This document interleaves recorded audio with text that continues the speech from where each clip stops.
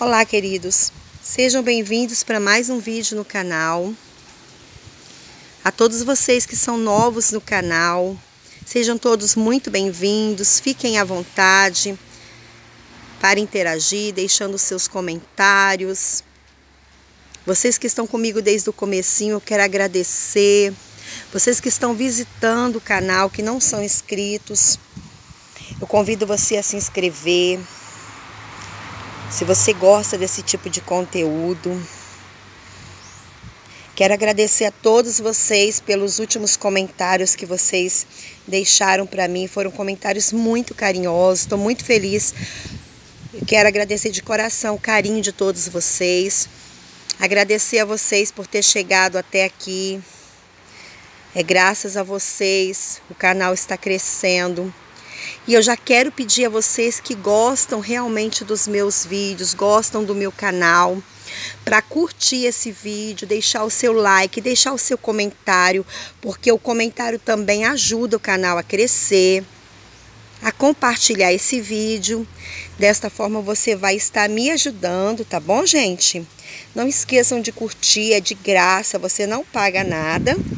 E você vai estar ajudando o canal a crescer, tá bom?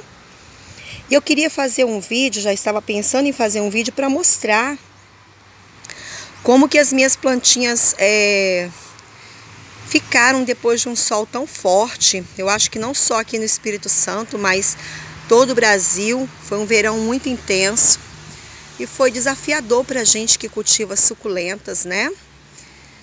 E como a Márcia me convidou do canal Márcia Neves, Deus e eu, para falar da estação do outono, como estão as plantinhas no outono.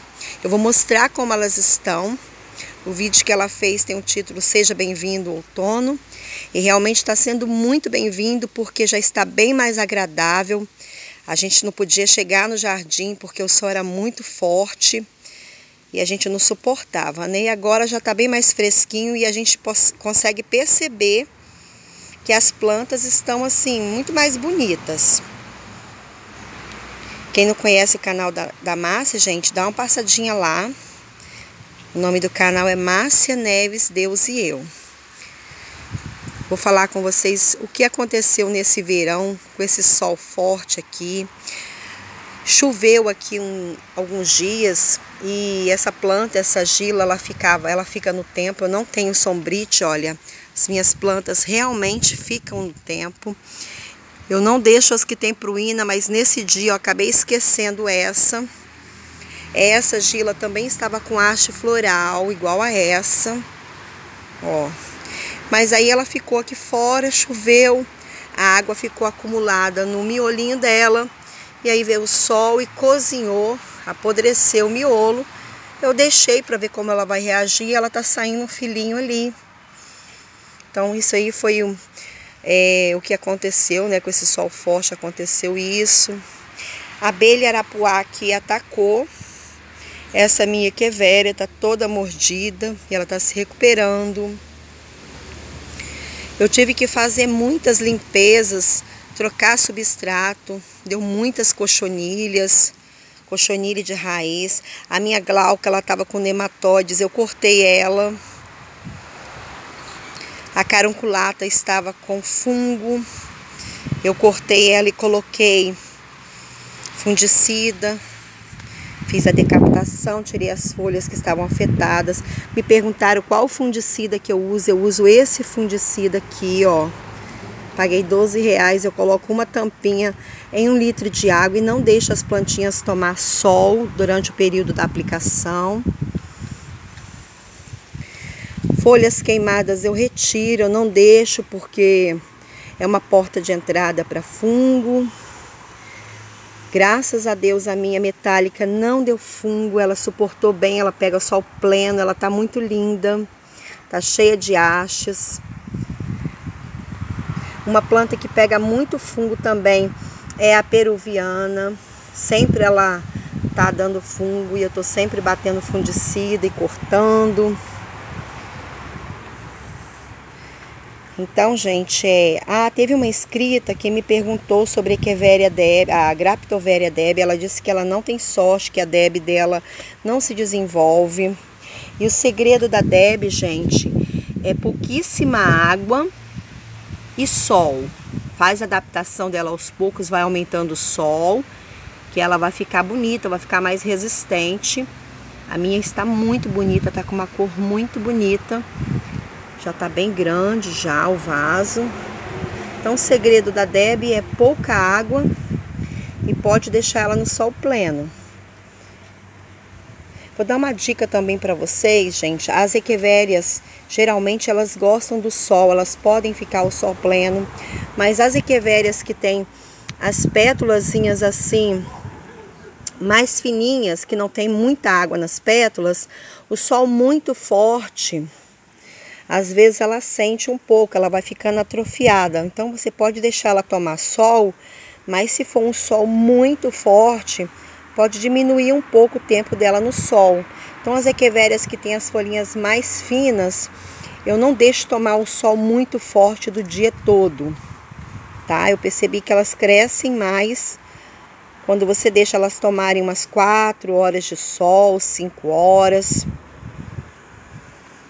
Mas no geral as minhas plantas neste verão como eu disse, né, aconteceu de tudo aqui. Teve ataque de arapuá, teve queimadura, cochonilha, fungo. Fungo foi o que mais teve.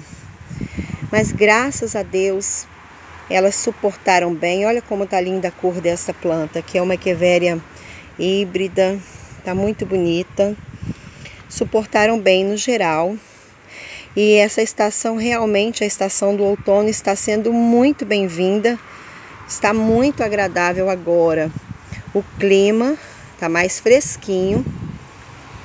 Eu quero agradecer a Márcia por ter me convidado, tá bom, Márcia? Um beijo no seu coração.